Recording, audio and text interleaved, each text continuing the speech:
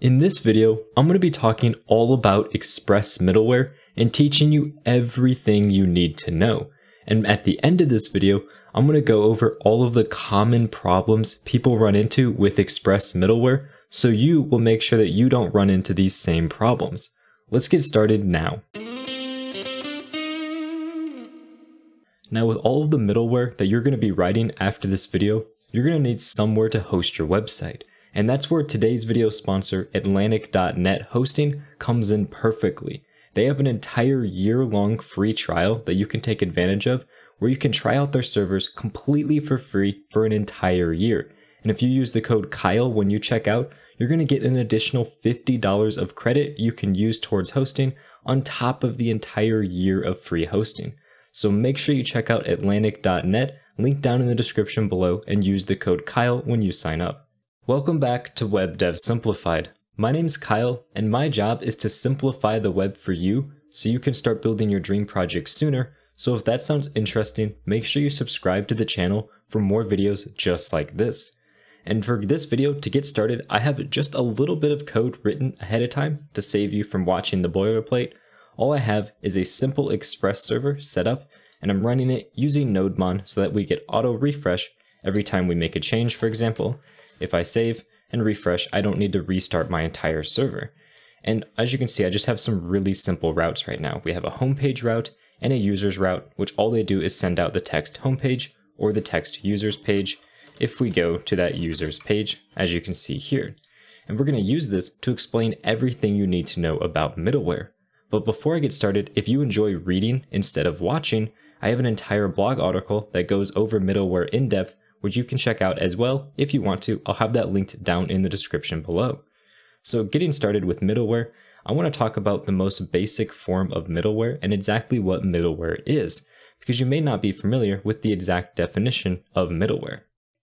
Essentially, all that middleware is, is it is a function or program or something that is going to run between the time that the server gets the request and the time that the server sends the request out to the client. So when I click refresh here, I'm sending a request to the server and that gets to the server and this app.get processes it. And middleware is anything that happens between the time the server gets the request and the time that the server sends out a response. So in definition, this function right here for our app.get users is actually a middleware because it's happening in between the getting of the response and the sending of the response. And that is something really important to understand with Express is that every single thing you write in relation to actions, such as app.get for these different actions, is going to be middleware. When you have your request and response variable, that is a middleware that you are writing that is going to be acting in between the response, sending, and getting. So this is the most basic form of middleware, but really when you think of middleware, you don't think of the actions, such as these request response actions here, you think of things that happen either before or after those actions. So to get started, I want to write a very simple logging middleware. And the easiest way to get started with a middleware is just to create a function. So we're just going to create a function called logger. And in here, what we're going to do is just console.log log, just like that. We're just going to be logging out some information, whatever it is that you want to log out. And this is going to take in a few different properties. We have our request, we have a response, and then we have a third variable, which is called next. So request and response, those are self-explanatory. They are the request that's getting sent to you and the response that you're sending back. But next, this is actually just a function. And all you need to do with the next function is just call it. So for example, we could call next like this. And what's going to happen is the next piece of middleware in line is going to be run when you call this next function. All of these different parameters up here also take in a next just like this. And we can call next inside of here but since this is the last piece of middleware, there's really no point in calling next because there is no other middleware to call after this. So that is why you almost never see this next inside of your middleware for your controller actions. But here we have this logger, it's logging out just the text log, and we're calling next properly. So in order to use this middleware, we have a few different ways we can do it. The first way is we can say we want this to be global middleware. So if we say app.use and we put in our logger here, we just pass it the name of the function we want. We don't actually call this function, we just pass it the name of the function because app.use here, it accepts a function that takes in these three different parameters. So it's expecting a function that takes request, response, and next. So we're passing it a function that takes those. And if we save here and I refresh my page, you'll notice this text log gets printed out. And that's because this middleware is being ran and then we're calling next and then it's running our next piece of middleware, which is here sending out our users page. We can even put a simple log in here, which says users page. And now if I refresh, you can see it logs and then it prints out users page, just like that. And we'll also put the same thing inside of our homepage as well. So when we define a logger up here for our middleware inside of this app.use at the global level, this is going to be run before every single one of our other requests. So if we go to the homepage, you can see we get our log being ran here as well. And if I save this and refresh, you'll notice we get our homepage being printed after our log. So this is going to be global to our entire application.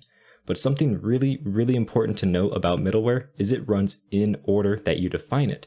So right now we have our logger being defined first and then our actions. If we tell our logger to run after our actions, you're going to notice something interesting. If we refresh our page, we only get homepage being printed out and this logger is never being printed. And that's because inside of these actions, we're never actually calling next. If we were to call next inside of here, and now save and refresh, you'll see it calls homepage and then prints out our logger, because in order, our app.get happens first, and then our logger happens next. And since we're never calling next from our action up here, we're never actually getting in to this logger down here. This is why in general, when you're creating global actions such as this logger, you almost always want to put these at the very top of your file so that they happen before all of your different controller actions. So the next type of middleware that I want to talk about is going to be middleware that is specific to a single action. And you can define this type of middleware by just putting it inside of this app.get function. This function actually accepts essentially two things. It accepts your path here, which in our case is just the home path, and then it accepts a list of different middleware. Right now we're passing it one single middleware, which is our normal request. But if we wanted to pass another middleware, we're just gonna copy this, paste this down, and we're just gonna call this auth. And we wanna authenticate people that go to our users page here. It's gonna take a request, response, and a next. And we're just gonna log auth out of here. So what we do is we just pass this middleware to our function, just like this. So we have now two middleware being passed, our auth middleware, and then our actual action middleware here. And if we save refresh our page on the user's version, you can see we have our log being printed because that's our very first middleware. Then our auth is being printed next because it's the first in this list. And then lastly, our users page is being printed because it is the next in line of our list of middleware. Now, something else that's really amazing about middleware is the ability for you to access the request and response parameters. So what if we wanted to check to see if our user is actually authenticated instead of just logging out our auth? Well, we can do that by just putting an if in here and saying if our request dot query dot admin, so if it has the admin query parameter set equal to the string of true, then that means that we have an admin user, so we can just call next and go on to the next portion of our function. Otherwise, if for some reason we don't, we can exit out early and just send something along the lines of no auth. And we'll send that down to our user. And now we'll just delete these save again, and when I refresh, I'm not passing anything in our query string that says admin is true, so we're automatically should fail this authentication check, and if we refresh, you see we get this no auth being printed out just like this. But if I come up here and I just say admin equals true, now you can see I'm getting through to the user's page. So this is super important that inside of your middleware, you're able to access your request and response in order to either exit out, so we never actually got to this function because we sent to the server and never called next, or you can just auth people like this by checking your query parameters and then calling next in this example. Same thing with our logger, we could print out something based on a request. We could print out, for example, the original URL. And now when we save and refresh over here, you can see our URL gets printed out down here inside of our logger. So that's another great use case for these different types of middleware.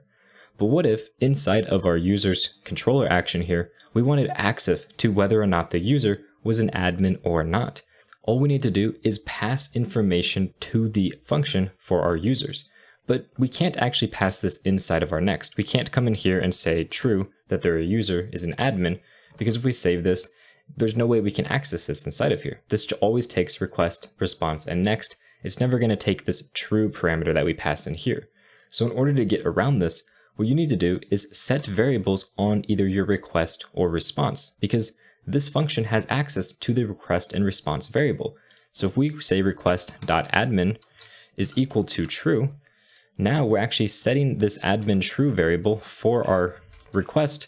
And up here inside of this function, we can just console.log and come in here and just say user is admin equals, and we just want to say request.admin. Now if we save and refresh, you can see user as admin equals true. But if we don't have that admin section in there and we save, you see that we're just getting this slash users being printed out and then no auth. And this is never being called because again, we're never calling next inside of the failure case of our authentication. So we're able to now pass variables from our middleware to other sections of our controller actions, whether it's other middleware or the final result of our action here. Now that is the basics of what middleware does, but the biggest, biggest problem that I see people run into with middleware is the fact that they misinterpret exactly how this next function call works. They assume that next essentially works the same as returning from a function. So instead of having our function set up like this, let's say that our function instead was set up like this where what we're doing is we're calling our if, and if this is true, we're saying request.admin equals true, and we call next. Otherwise, if this isn't true, we're just going to be calling this function down here, this res.send no auth. And if we save this, and we come in here and we pass admin equals true, and we hit enter, you're going to notice immediately a problem. We're getting an error down here, and essentially it's saying cannot set headers after they are sent to the client. What's happening is we're coming in here saying admin equals true, okay, then we call this next function. Up here we call all of this code, which is great. This finishes executing, and then our function comes back down here. We finished executing next, so we continue executing our code and call res.send no auth, which is why we're getting this error. We need to make sure that if we want to exit out of our function, we need to call return to stop this from executing any further because next is going to come back and execute again as soon as the function that next calls is done executing. Now if we save this and refresh, you can see everything works as before with no more errors. And a great way to illustrate this a little bit more in depth is inside of our logger, let's just come in here and log out the text of before, and we're gonna log out the text of after, and this is going to be before our next and then after our next. And let's just for now remove this auth logging just like this. So we just have users page and we have before and after. So if I refresh over here, you see I get the text before being printed out. So it's coming into the logger, calling before, and then it calls next. And this next calls the next middleware, which in our case is this function here, which logs out user and then sends our user. And then after that's done, it comes back here and executes everything after our next, which in our case is after. So it's going in order before and then users page and then after. And this is super, super important to understand because it's really easy to write code and forget to include a return and then you have problems where you don't actually want to call this code down here, but you're accidentally calling it because you're never exiting out of this function after the next finishes executing. This can be a really great trick though, because if you want to run some form of middleware after every single one of your functions execute, it's really hard to do because we already know we can't just move our logger to the bottom because that's going to run into problems where we're not calling next inside of our controller actions. So what you can do instead is put your logger up at the top and then just call next immediately. And then after all of your controller actions and middleware finish, this is going to call after your next is finished. So we're able to essentially use a middleware that's defined at the very top and have it execute after every single thing in our entire chain of middleware finishes executing, which is again really useful for certain logging situations where you want to log that a request finished executing so you can maybe log out what the response is going to the user. The most important takeaway from this video though is that middleware is essentially just a function which takes a request, a response, and a next, and it will call next whenever it wants to move on to the next form of middleware, and in between there it can modify the request and response however it sees fit. That is essentially all middleware is, but that doesn't mean that it's not powerful because you can do so much with these simple set of tools for middleware. And with that said, I really hope you enjoyed this video, and if you did, you should check out some of my other videos linked over here and subscribe to the channel for more videos just like this one. Thank you very much for watching and have a good day.